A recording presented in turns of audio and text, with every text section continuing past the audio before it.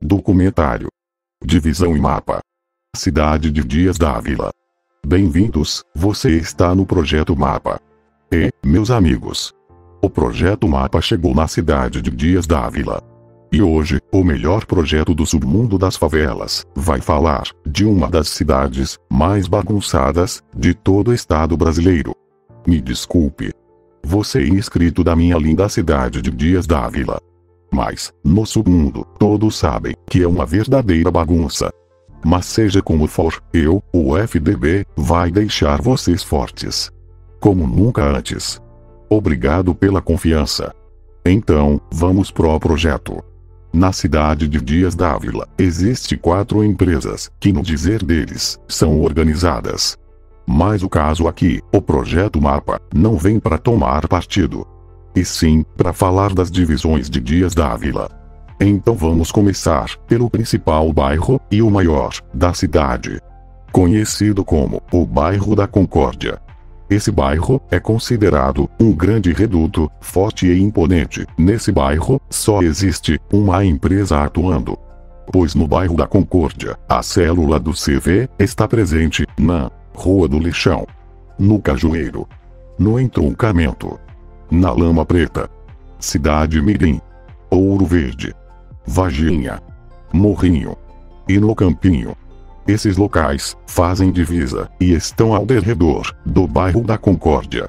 O que vale destacar é que a empresa do CV, nos últimos anos, vem se fortalecendo e entoando força em todo esse bairro.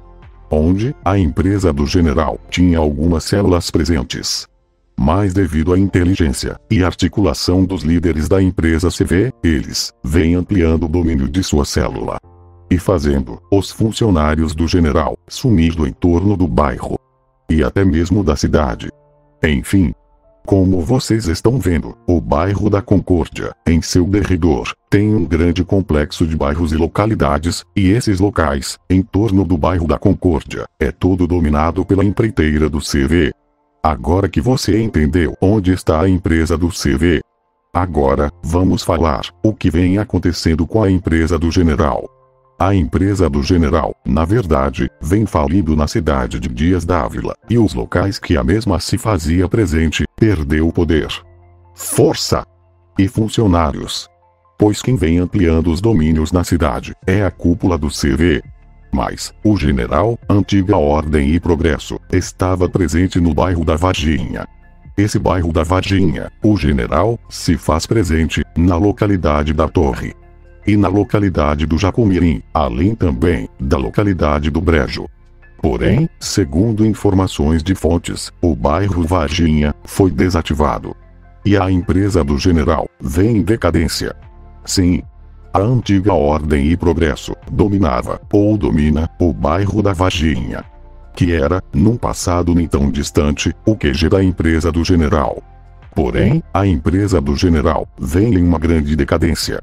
E há quem diga que o general perdeu todo o seu domínio de liderança nesses locais que o FBB citou.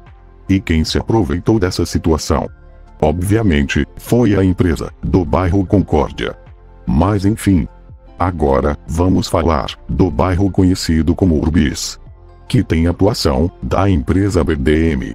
Pois o BDM tem serviços nas localidades da Baixada da Urbis e na localidade do Inferninho tendo então duas localidades no bairro que forma um considerável quartel da empresa BDM. E agora, você vai saber da quarta e última pequena empresa, conhecida por todos como empresa do Dino Rex. Essa pequena célula, que tem células em boa parte da cidade de Camaçari, tem uma pequena filial no bairro conhecido como Bairro do Genário.